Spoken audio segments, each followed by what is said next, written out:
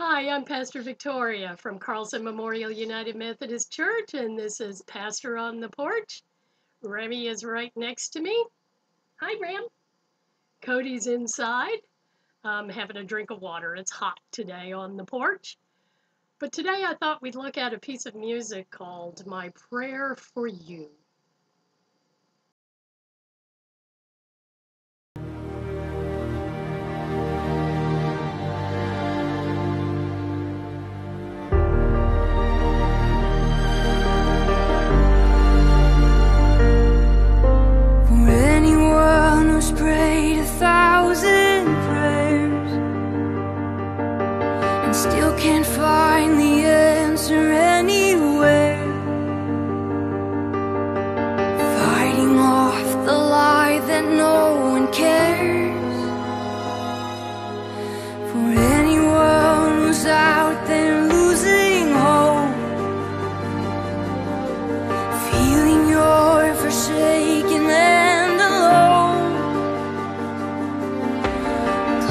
into the last strands of your own.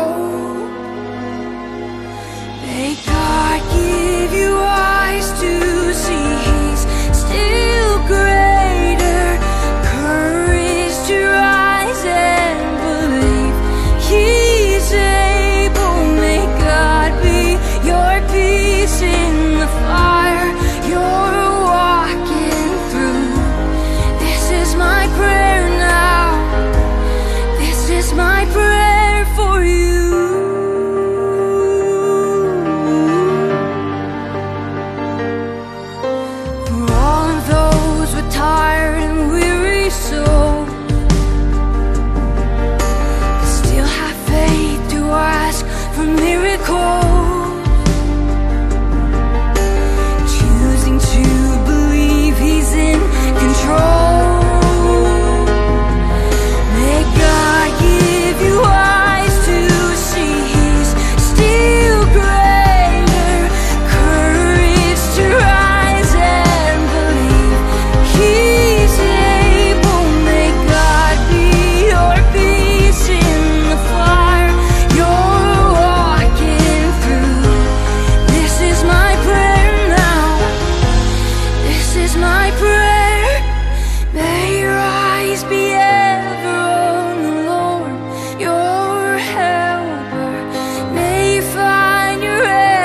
近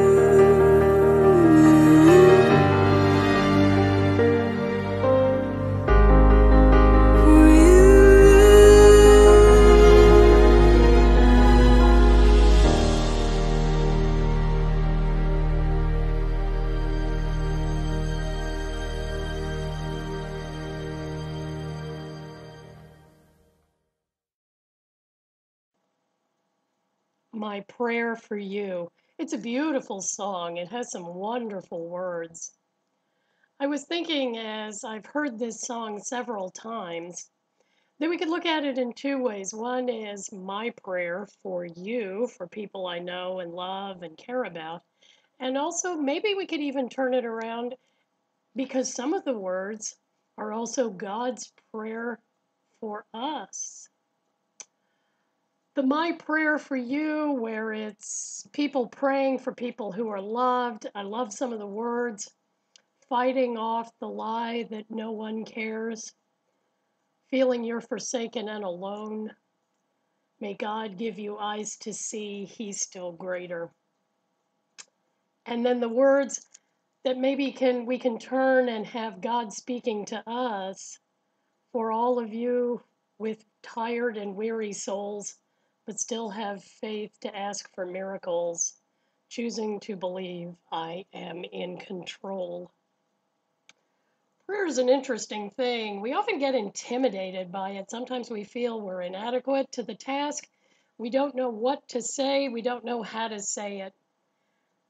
And so we have discussions about how to pray and when to pray and what to say when we pray and where to put our arms and whether to stand or sit. Prayer is a relationship, it's a conversation with us, with God, with one another. Even if we're alone, God is with us. So we're having this conversation, this chat so I always think you should sit where you are most comfortable when you pray. If you're more comfortable standing, stand up. I had a friend who used to pray gardening because that was a time when it was quiet and peaceful. Um, some people like to walk when they pray. Some people pray in the shower.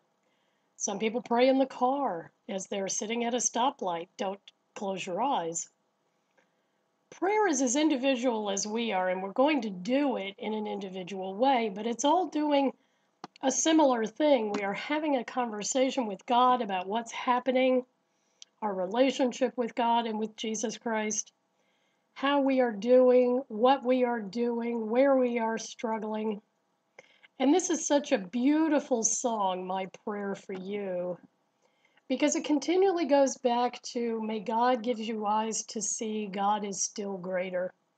Courage and courage to rise and believe God is able. That's really what prayer is about. It's recognizing that we have eyes to see that things are beyond us, that there are things going on that are greater than we are. God is bigger than we are. And the courage to believe that God is like we said last time on the porch, God is always with us. So, how do we pray? We pray in a way that is most comfortable for us. We speak in words that are honest and sincere. And if we pray for one another, we join together, whether we're in person or online or on the phone or in a text, and we just speak words of comfort and compassion to one another in prayer. And we ask God to help us. Sometimes prayer is a struggle, and sometimes we don't have the words to say. And then the Holy Spirit picks up our voice and speaks for us. What a wonderful thing that we have to be people of prayer together. So let's pray.